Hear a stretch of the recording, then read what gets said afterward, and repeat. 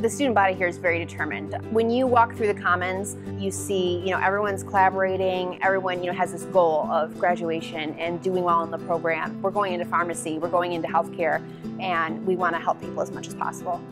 We have a unique opportunity to learn theory, if you will, but then that very same day, do it. Many classes are not like that. You just read, you take a test, and you move on. But here, it's you read, you ask questions, but then you actually go do.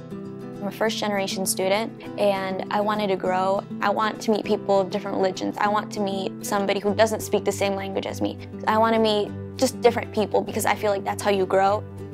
People really need to come to our campus and look at how diverse it is and what kind of things we have going on. We've got great professors here and now with the Mike Ilitch name attached to it, everyone can see that Wayne State has a great program.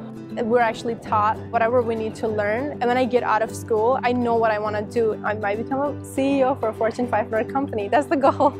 Wayne State students are amazing. They are creative and innovative. If you just stand back, they're going to change the world.